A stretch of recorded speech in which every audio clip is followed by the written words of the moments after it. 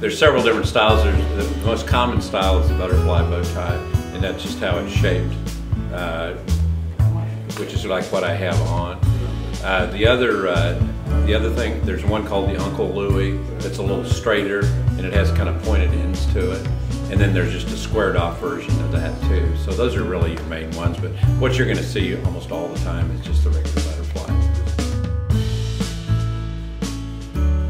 Uh, these are some different pattern bow ties. Uh, this is actually a Mizzou tie, To our new chancellor, he's, he's the bow tie guy, and this is one that he actually bought and is, is wearing and it's from uh, State Traditions. You can see the little states of Missouri on there. So that's kind of a fun one, and that would be more like a club type that you could actually work with the pattern. Uh, this is your uh, rep stripe.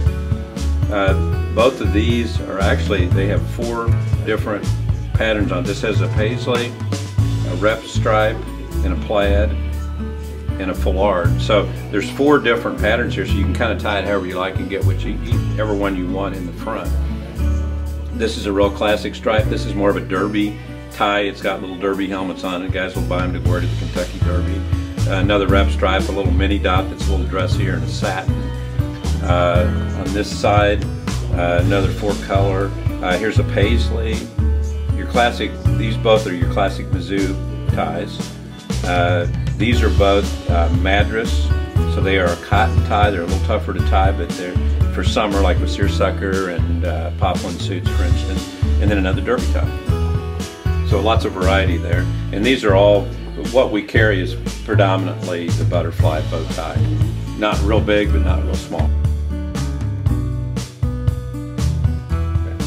We're going to start with uh, one side a little longer than the other. Cross it over, and that'll be your first step. You put this side up over your shoulder, this down. This comes back across to start to form the bow tie. The other end goes over and you formed a little area back in the back. I'll show you